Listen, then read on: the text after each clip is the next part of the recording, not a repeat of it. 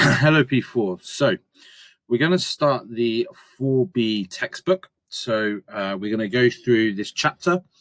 Uh, there'll be some worksheets and there'll also be a Google form um, for some questions as well. I'll upload this PDF, but also you can um, log on to Dr. PC and uh, see uh, what I'm seeing now. So um, let's uh, start off with. So we're uh, get changed. So apart from a laptop computer, which obviously we use, what do we know about other computers? So we've got a video to watch.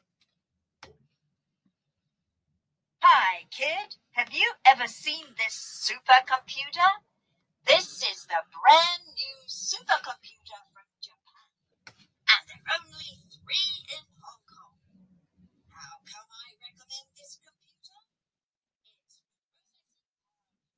Its processing power is much faster than any other computer in the world.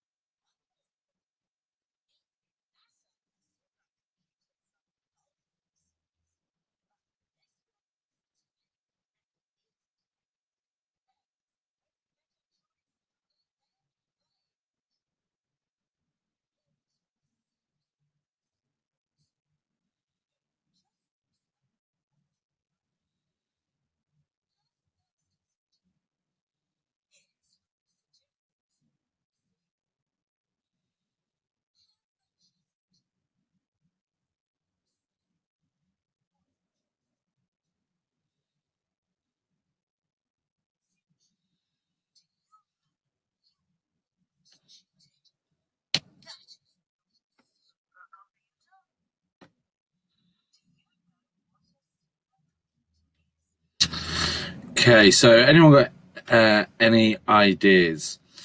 Let's have a look first at um, some of the different types of computer, some which you might um, be already uh, common with. So, processing power distinguishes computers from microcomputers, mini computers, mainframe computers, and supercomputers. So, processing power is the key thing which separates them. So microcomputers are what's most widely used in home, office, and school. And these can include uh, desktop computers um, or computable computers or even tablets and notebooks. So we use at, at school a, a, Chromebook, but this, uh, and then a majority of the teachers use laptops and a few of the computers are desktops. This picture here is of a desktop computer. You then have mini computers that can process a couple of users' commands at the same times. They're no longer really popular uh, because microcomputers have got so powerful.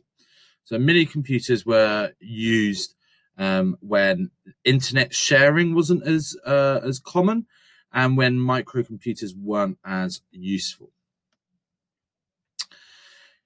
Now we've got this picture, which is a mainframe computer.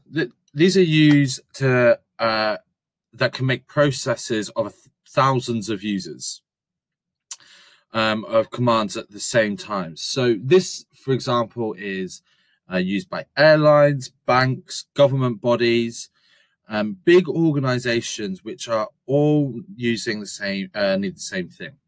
A really good example of this is to think of an airline. When you uh, scan your ticket to check into your um, airport uh, at the airport, uh, somebody behind the desk is inputting then your passport information or other information, and then there's lots of people on that desk.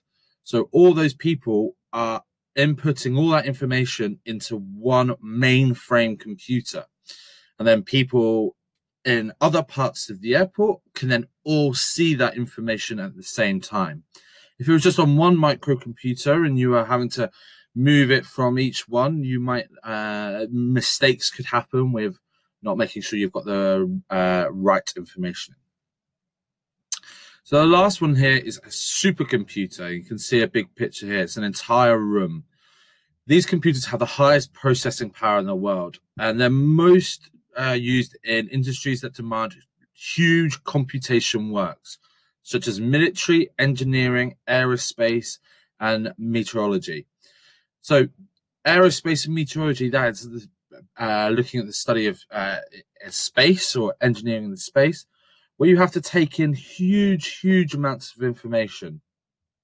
Um, more than millions of data points, and it's trying to uh, work them out or estimate uh, mathematical models. This is the highest level of computing and maths, really.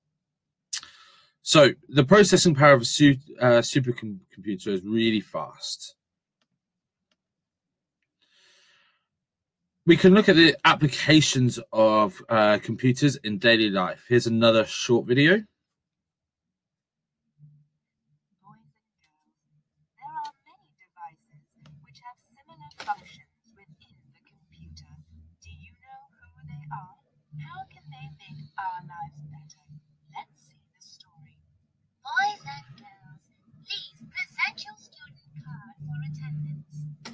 Yes.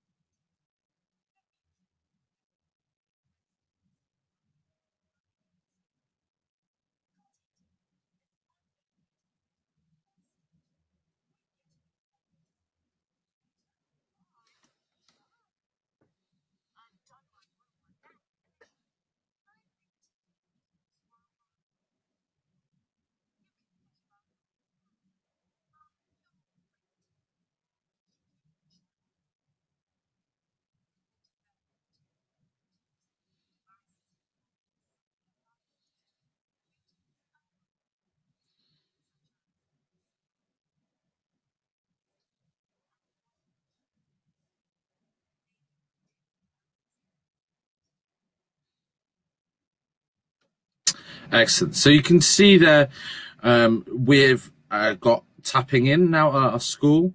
Um, if you're paying stuff when they scan the information, phone calls, even your washing machine, I know when to start certain cycles, and obviously playing games. So uh, smart cards can be used for attendance, also, we can use uh, Octopus works the same way. It stores an amount of money on the cards, and we have some different uh, an ebook reader, an instant dictionary, ATM, um, a electric microwave, or a rice cooker. We've even got video phones. Uh, PDAs are an old form of technology. Um, electronic game player, MP3. These are kind of all in smartphones now. So let's try this uh, Discovery Playground. This is a game. We'll do the level one, and then if you want to do the level um, uh, more, you can do it at school uh, when you uh, log on. So come and accept my challenge. See if you can shoot the target. Let's start. Let's just work it out. According to the process, uh, process and power computer, how many categories are they divided?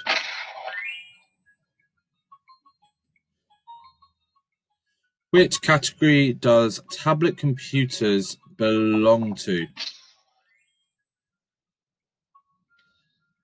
How many users can use a mini computer at the same time? Because we know it's the smallest amount how many users can use mainframe computer at the same time. So it's not as big as a uh, oh, so it's not as big as a supercomputer as the next one. Which of the following is not an industry that demands huge computation? Kindergartens. So to do level two, you can just log on to your Doctor PC and give that a go. Okay, um, let's just read this then. Reading fun. The computer has evolved through changes in shape, size, and use. Meanwhile, computer applications have extended to our daily lives, such as programmed home appliances. The progression in computer technology not only improves the performance of uh, uh, appliances, but also brings convenience to us. So, which of the devices below are uh, are computer devices? So, a till, yes. The lamp, no. A kettle, no. An e-reader, yes. Okay, and that is it for uh, this lesson. So, like I said, you'll have um, uh, this uh, work to complete, um, which is the worksheet and the Google Forms. And then uh, we have the practical, um, the uh, practical typing, which I've also uh, posted.